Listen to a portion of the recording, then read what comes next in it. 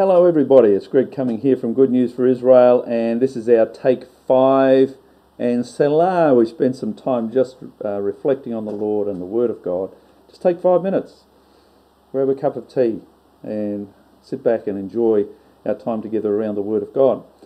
We're looking at this uh, incredible city called Shechem in the Scriptures, and uh, referring back to the Scripture in Genesis chapter 12 and verse 6 where it says that Abram passed through the land to the place of Shechem, as far as the terebinth tree of Moreh, and the uh, Canaanites were in the land. So we're continuing to talk about the significance of this place, Shechem. It's the first place that um, Abram came to in the land of Canaan, and we've seen so many things happen here already. Go back and have a look at some of the previous uh, Take 5 and Selahs, some of our previous uh, videos.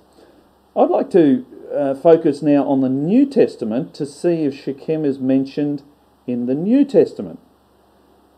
If the covenant with Abram is significant to God, then there should be an interest for Jesus in this very special place.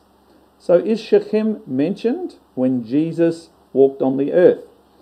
Well, in the days of the Messiah, Jesus, Shechem was not called Shechem, it was called Sychar. Do you remember what happened at Sychar? That's right. Jesus met a Samaritan woman at a well. And which well did he meet her at? Well, it was Jacob's well. So this puts the scene right at Shechem because we know that Jacob dug a well at Shechem. He had a plot of land there. So let's pick up the story in John chapter 4 and verse 5. So he, Jesus, came to the city of Samaria, Samaria, uh, to, sorry, Let's say that again. So he came to a city of Samaria, which is called Sychar, near the plot of ground that Jacob gave to his son Joseph. Now Jacob's well was there.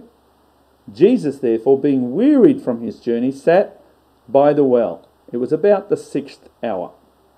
A woman of Samaria came to draw water. Jesus said to her, Give me a drink. Uh, and there we find that he told her of living water where she could thirst no more. And in ver- verse 19 it says, The woman said to him, oh, Sir, I perceive that you are a prophet. Our fathers worship on this, worshipped on this mountain, and you Jews say that it is in Jerusalem that one ought to worship. And so, which mountain is she referring to uh, when she said, Our fathers worshipped on this mountain? Well, she's referring to Mount Gerizim, right there, towering above the town of Sychar, which is ancient Shechem. And in verse 21, Jesus said to her, Woman, believe me, the hour is coming when you will neither on this mountain nor in Jerusalem worship the Father. You worship what you do not know, and we worship, uh, and, but we know what we worship, for salvation is of the Jews. But the hour is coming, and now is, when the true worshippers will worship the Father in spirit and truth, for the Father is seeking such to worship him. God is spirit, and those who worship him must worship in spirit and truth. And the woman said to him, I know that the Messiah is coming, who is called Messiah. When he comes, he will tell us all things. And Jesus said to her, I who speak to you am he. So Jesus confirmed to this dear Samaritan woman here at Shechem that he was the Messiah. That's a very special thing to happen at Shechem. He revealed his knowledge that she had had several husbands. She took him as a prophet or a Messiah and went off to the village and called the people of the town. And then verse 39 says, And many of the Samaritans of that city believed in him because of the word of the woman who testified, when she said, He told me all that I ever did. Verse 40 so when the Samaritans had come to him, they urged him to stay with them. And he stayed there two days. And many more believed because of his own word.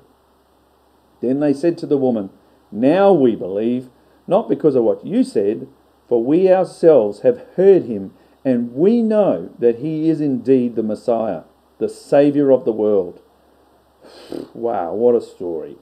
So, which town did all of this happen in?